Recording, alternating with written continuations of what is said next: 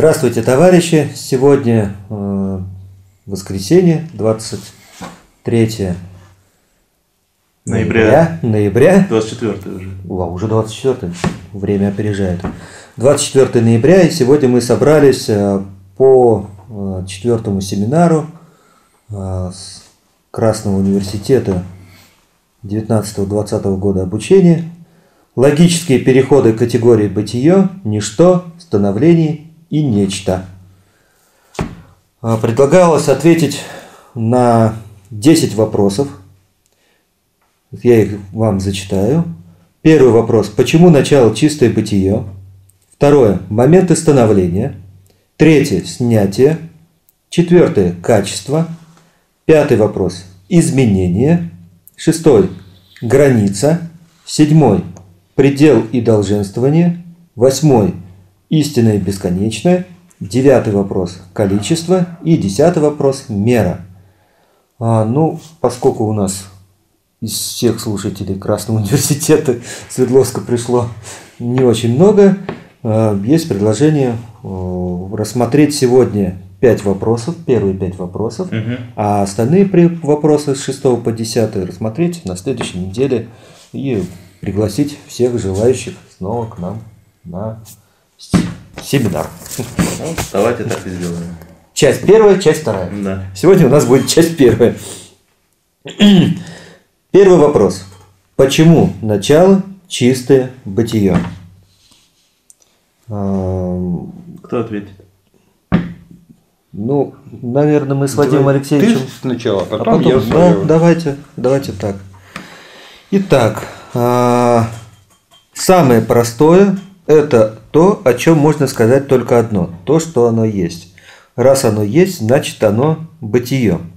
А какое бытие, если о нем можно сказать только то, что оно есть? Чистое.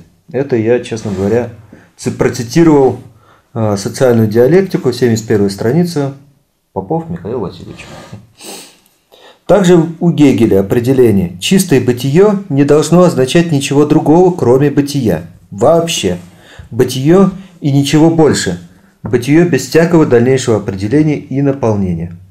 Наука логики Гегель. Ну, хотелось бы еще немножко добавить, все-таки, почему на самом деле э, является началом. Э, Чистое бытие есть самое простое определение. И ввиду этого является началом дальнейших логических размышлений о самом бытие. Вот так я ответил на этот вопрос. Так, ну вот как я ответил на этот вопрос. Почему начало чистое бытие? Ну, прям, так сказать, почти, ну, практически по Гегелю. То, с чего начинается само начало, должно брать в его простой, ненаполненной непосредственности. Начало должно быть абстрактным началом мышления, совершенно всеобщим, должно быть формой без всякого содержания. Бытие и ничто имеются в начале. И так как мы начинаем рассмотрение чего-либо с того, что это рассматриваемое есть, и более ничего сказать не можем, это есть чистое бытие.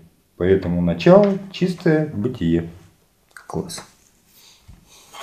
Ну, давайте продолжим тогда. Второй вопрос. Ну, да. В принципе, тут все разобрано. Единственное... Ну, я уже, ладно, не буду прошлогодние ответы зачитывать. А, Моменты становления. А, Моменты становления, и, ну, имеется в виду э, становление из бытие в ничто. И обратно. Так, а, начнем как с, меня, получается. Моменты – это неотъемлемые друг от друга противоположные э, движения в одном движении. Опять же, это вот из социальной диалектики. Моменты противоположные понимаются только во взаимосвязи друг с другом. Движение из бытия в ничто и наоборот. И наоборот есть моменты становления. Соответственно, переход бытия в ничто называется прихождением, переход ничто в бытие называется возникновением. Ну и дальше получается, что все вот эти вот переходы, прихождение и возникновение, они понимаются только в движении. От бытия в ничто и, соответственно, такое вот некое вечное туда-сюда. Но оно не вечное. Ну, оно, А- оно да, заканчивается. Заканчивается, а потом опять заново начинается. Оно не так, не заново. А может другое движение начинается. Ну, в общем, вот моменты становления, они вот такие вот. Ну, вопрос, моменты становления. Опять же, я ссылаюсь на Гегеля. Становление есть неразделенность бытия и ничто. Они составляют определенное единство, в котором есть и бытие, и ничто. Но в этом единстве бытие и ничто, оно есть определенное единство. Но так как каждое из них и бытие, и ничто нераздельно от своего ничто, от своего иного, то их нет. Они, следовательно, суть в этом единстве, но как исчезающие, лишь как снятые. Теряя свою самостоятельность, они не сводятся до моментов, еще различимых, но в то же время снятых. Становление дано таким образом в данном определении, в, одно, в двояком определении. В одном определении ничто есть непосредственное, то есть определение начинает с ничто, относящегося с бытием, то есть переходящего в него. В другом определении бытие дано как непосредственное, то есть, то есть определение начинается с бытия, переходящего в ничто.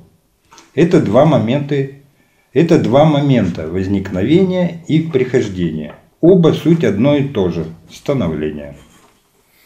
Так. Ну, тут можно еще добавить, э, как мы от чистого бытия приходим к становлению. Вот это развернуть. Это, это уже не впишется. Это не, не в, это- это не в это- рамках ответа, да, а вот в рамках Но вот это- этого. Но это тогда Мгм, надо вот это- все от да-да-да. всего Ну, я могу это бытия. сделать, если интересно, могу озвучить. Конечно. Вот. э, Когда мы берем чистое бытие, мы берем, оно так как самая, ну, самая первая категория, самая чистая, в нем нечего э, рассматривать. И когда мы это понимаем, что в нем нечего различать, а, мы приходим к ничто. А, это ничто такое же чистое, как и чистое бытие. То есть э, э, тоже абстрактное, тоже э, бе- без определений, без опосредствований. Ну, точнее, она опосредствована только чистым бытием. Вот. И что мы можем сказать о чистом ничто? Только то, что оно есть. А раз оно есть, значит, оно то же самое, что и бытие. Тут мы приходим опять к бытию. То есть э, получается, что у нас чистое бытие переходит в чистое ничто, а ничто переходит в бытие. Что же с этим бытием? А оно так же, как и чистое бытие, переходит в свое ничто. Вот. И в этом движении э, перехода бытия э, в ничто, э, в этом э, в этом именно движении, мы различаем, мы видим движение, которое называется становление, движение исчезновения бытия в ничто и ничто в бытии. В этом движении мы различаем два момента. да. Э, Момент э, перехода бытия в ничто э, и не- переход, и перехода ничто в бытие. Ну, как там Гегель пишет, суть не в том, что они переходят, а в том, что они уже что бытие перешло в ничто, а ничто перешло уже в бытие. Вот. А, Эти два момента называются а, переход, переход бытия в ничто – это э, перехождение, а ничто в бытие – это возникновение. Вот. А, Так мы пришли к этим моментам. Давайте, так, дальше посмотрим. Получается, третий вопрос у нас это снятие. Мгм. Ну, скажу честно, я не смог разобрать пол- полностью, как бы я хотел. Э, То есть, и, опять же, на основе социальной диалектики и Гегеля. Э, Поэтому, в общем-то, я могу только ограничиться, по сути дела, э, определением и как-то попытаться сказать то, что, то, что я как это себе при- понял, как я себе это понял. А, снятие – это отрицание с удержанием. Наличное бытие есть результат снятия становления. А, ну, что значит снятие? Что такое? Что такое снятие становления? Да, что такое снятие становления? Тут надо сначала рассмотреть, что вот э, опять же есть вот вернуться немножко ко второму вопросу, что чистое бытие переходит в прихождение, момент, момент прихождения в чистое. Не-не-не, не. А... Это бытие переходит в ничто, бытие переходит в ничто. Бытие переходит в ничто, обратно из ничто переходит э, в бытие, и вот бытие. в этом становлении возникновения э, появляется наличное бытие. А, и вот результатом снятия вот этого становления от ничто в бытие. А почему оно снимается?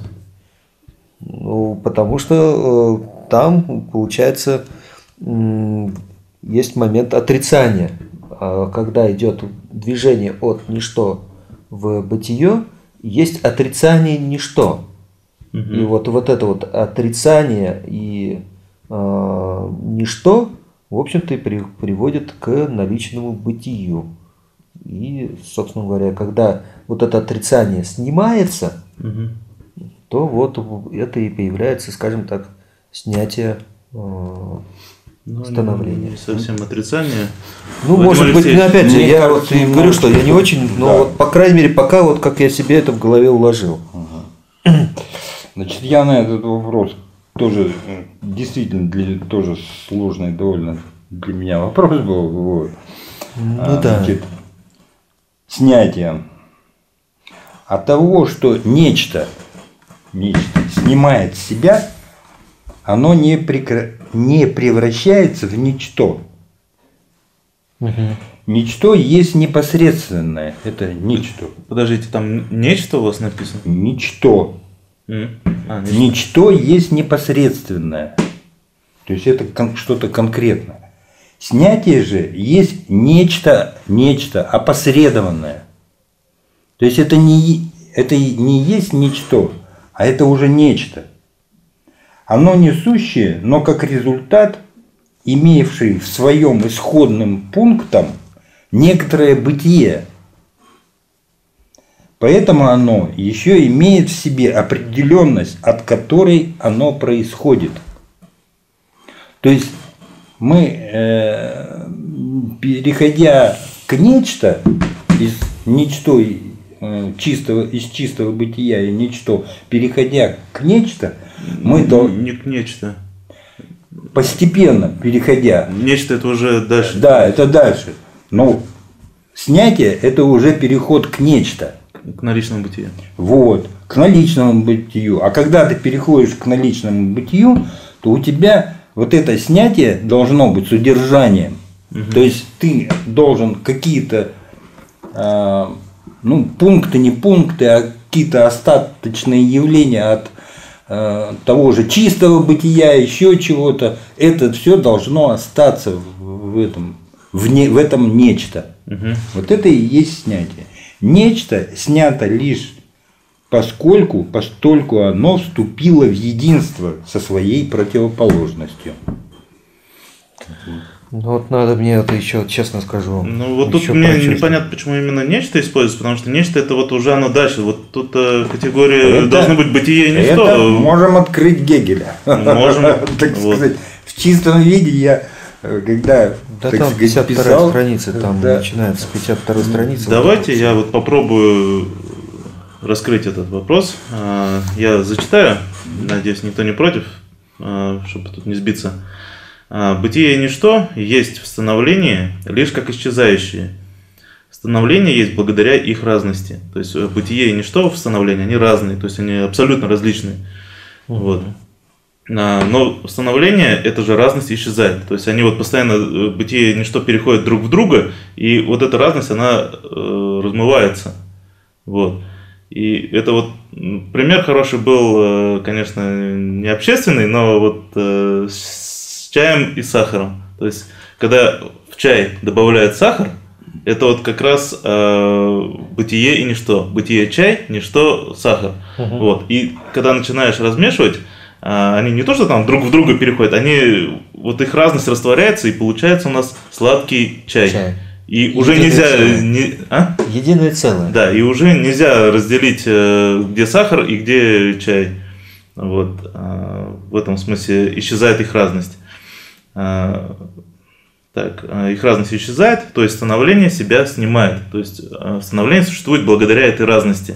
То есть пока они вот различные, идет процесс э, становления. Ну, не процесс, а движение становления. Вот, э, как разность исчезла, исчезло и становление. Снятие – это отрицание с удержанием. Чтобы понять, что получилось в результате снятия становления, необходимо рассмотреть, что такое становление. А, Вот можно сказать, что становление – это есть движение исчезновения бытия в ничто и ничто в бытие. А, Можно также сказать, что становление – это беспокойное единство бытия и ничто. Вот они вот в этом движении, поэтому они беспокойные там. И они в единстве, потому что они друг друга постоянно переходят. А, Отрицание этого беспокойства является спокойствие. Отрицание единства – простота. То есть единство подразумевает, что чего-то там не одно, а вот именно несколько, там два там, минимум. Вот. А простота – это значит что-то одно. А результатом снятия становления – спокойная простота. А спокойная простота – это у нас бытие. Но теперь уже не, не просто бытие, а наличное бытие, потому что оно уже есть перед нами, то есть оно налицо. Вот. И как это понимать? А, Вот, кстати, у Гегеля написано, что становление – это первая истинная категория, потому что в нем есть э, два противоположных момента – бытие и ничто. Вот. А, вот Но они связаны, получается, друг с другом. Ни Да. бытие, ни что. Да. И как вот это понимать, да, вот, э, вот это становление, снятие становления, наличное бытие. Если мы что-то берем и рассматриваем, допустим, вот телефон лежит, он наличное бытие для нас, потому что он вот он, на лицо. И Э, он един. Он, Ну, един с- да, сам, саму, самому Ну, себе. Он, он одно, он простое. И надо понимать, что он результат снятия становления. То есть прежде, чем он появился, было становление. То есть его там кто-то собирал там э, на заводе. Вот, вот можно такой процесс сборки считать как становление вот, телефона. А, вот сейчас он есть перед нами, и мы знаем, что ему предшествовало становление. Берем ручку. Мы знаем, что ручке предшествовало же становление. Да. Бумага, да, Да, нас самих. да, да, да. Мале- маленькие значит, замечания. Во-первых, мы отвечаем на вопрос не на остановлении, Мгм. а именно о снятии. Не, ну тут я так понимаю, что Вот. понятие... Я У нас вопрос тоже- просто стоит. Снятие. Да. Вот. Но снятие, например, становление можно показать. Да Я не против. Вот. И Да, даже, да, так и, даже и надо, всего. э, мы и понимаем, что снятие становления. Но дело в том, что я просто я не выхожу за рамки вот сейчас в Мгм. своем ответе. Да, я понял. Просто не выхожу за рамки дальше э, развивая, а просто объясняю именно, что такое становление. Вот.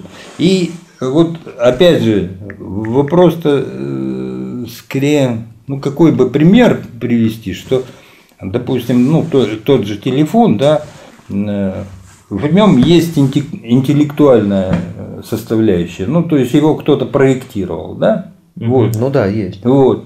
Это, это вот снятие, произошло снятие, вот оно снятие становления. В результате получился телефон из проекта, э, значит, из идей, Ну, скажем из- так, из ничто. Вот. Но не все равно. Ну, Можно поспорить, опять же, что, Из материального ничто это э, что проектировали это на основе, скажем так, не- некоторых составляющих. То есть был взят какой-то материал, он имеет Безусловно. свои физические свойства. Ой, ну давайте, да, далеко можно уйти.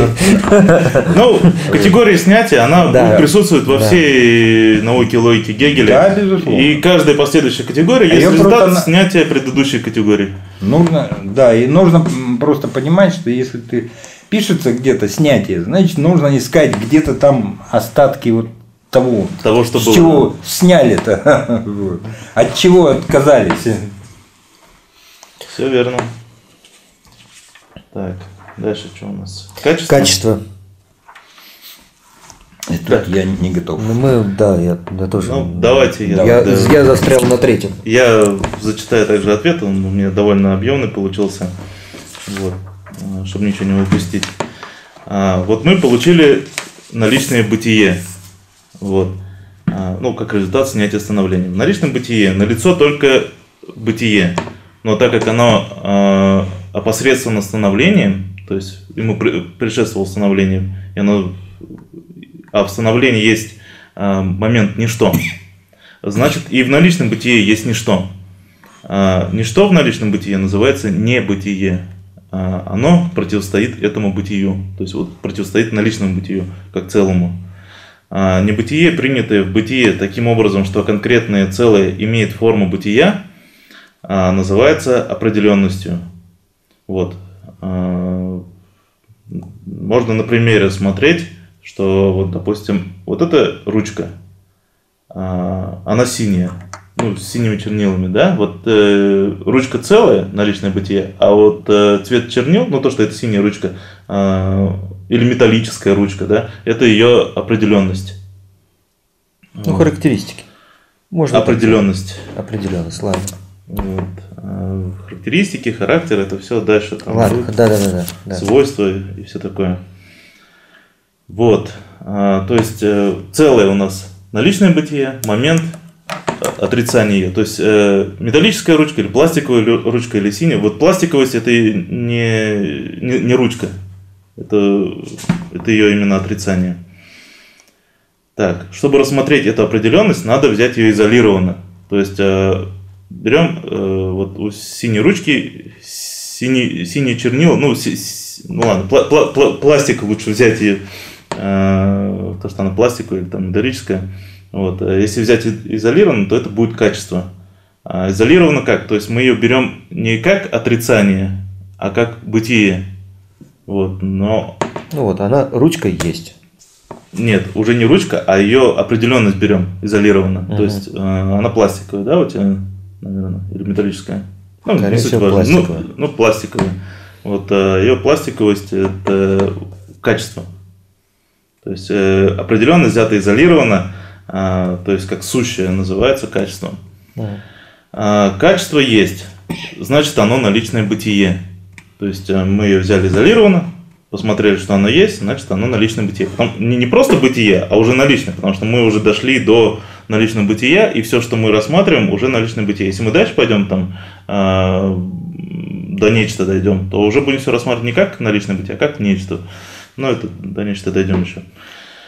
А, Качество есть, значит, оно наличное бытие. А в наличном бытие есть а, становление, то есть в снятом виде.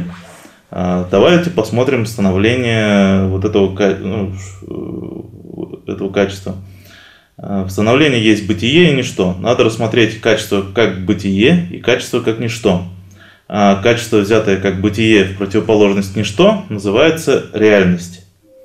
Качество, взятое как ничто в противоположность бытию, есть отрицание. То есть у нас э, реальность и отрицание.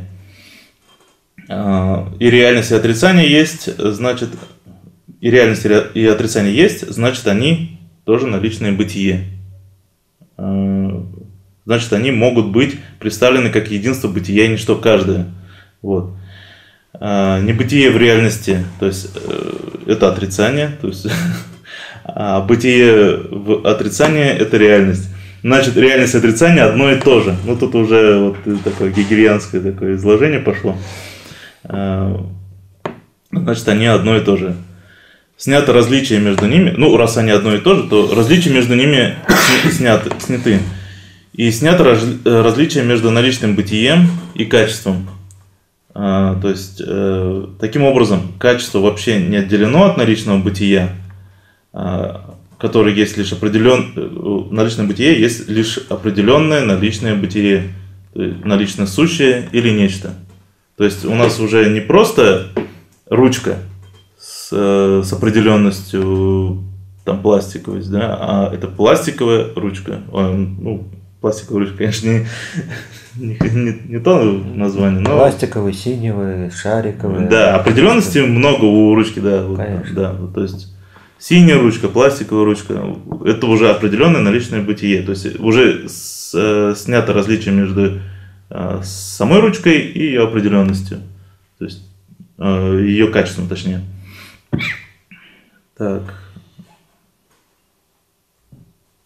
Ну, в принципе, вот по качеству рассказал. Ну, если есть вопросы, давайте попробую ответить.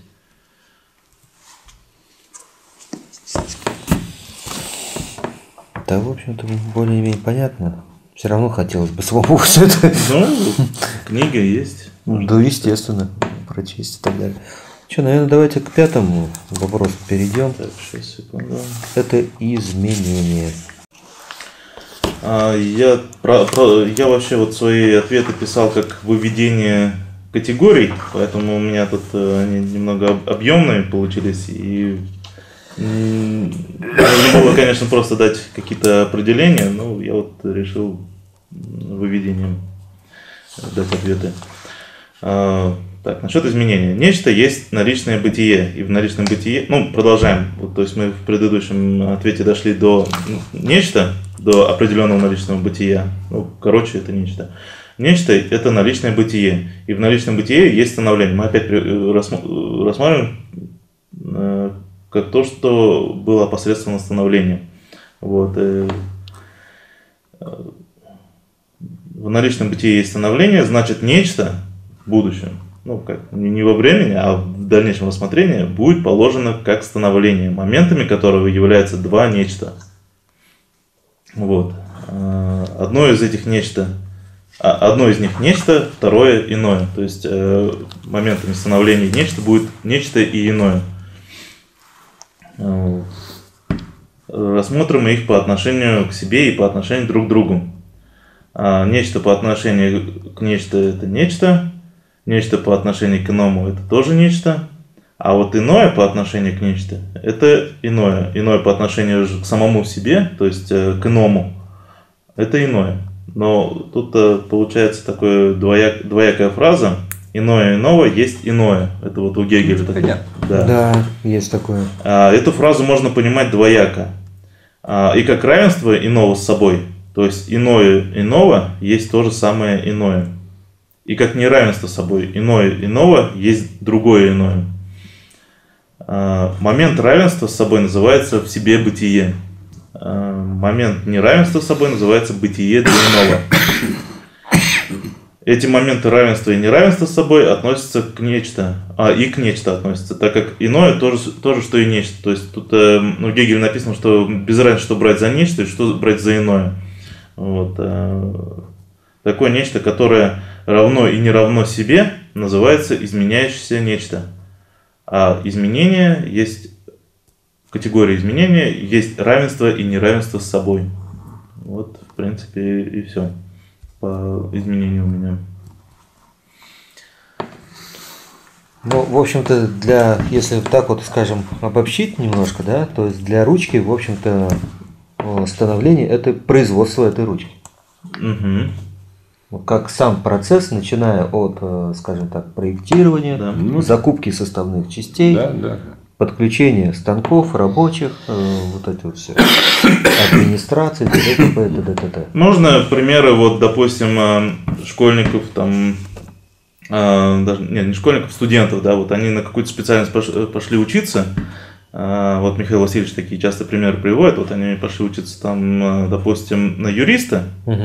и вот пока они учатся, они юристы в становлении, Да. вот. Когда вот они выпустились, ну, можно Получили сказать, что они уже юристы, как на личное бытие. А изменения, получается, в восстановлении. изменение не в становлении, изменение уже в нечто. То есть А, м, то есть изменяющееся нечто. Это нечто, которое равно и не равно себе одновременно. Сту- студенте. Ну, студенте уже изменения. да. Уже изменения в ст- непосредственно в объекте. Конечно, Да, он, Ну, вот, допустим, он вот эта вот ручка. у- умнеет, так сказать. Вот ручка, она у тебя сохраняется как ручка, да? Но ты ею пописал, А она у она тебя осталась изменилась. ручкой, но у нее уже меньше чернил, она уже немножко изменилась, потерлась Да, там, да, что-то да. поломалась где-то там. Появились И три. она одновременно и равна себе, и уже не такая, как была до этого. Изменения произошли. Да. Да. Она начала переход в ничто. Да. Ну, Совершенно ну, получается. Не Да, в да. ничто, а в иное. Не, в иное, в иное. Сначала да, в иное, а потом в ничто. Ну, в иное, да. Вот. Ну, все, получается, что на первые пять вопросов мы втроем, на- в три руки, в три головы попытались разобрать. Головы избить. Да. Ну, надо понимать, что вот дальше там идут категории, а, точнее вопросы э, качества. Да. Ну, то есть мы сначала рассмотрели качество сейчас, а потом идет количество и мера. А, надо понимать, что вот э, количество и мера это такие же огромные а, разделы в, учении о бытии. Да. Вот Это там очень та- сложно. такие же, как э, и по качеству. То есть э, вот то, что мы сейчас рассматриваем, это все раздел качества. Ну, давайте закончим. Да. Попрощаемся на камеру. Спасибо Всем за до внимание. свидания. До свидания. До новых встреч.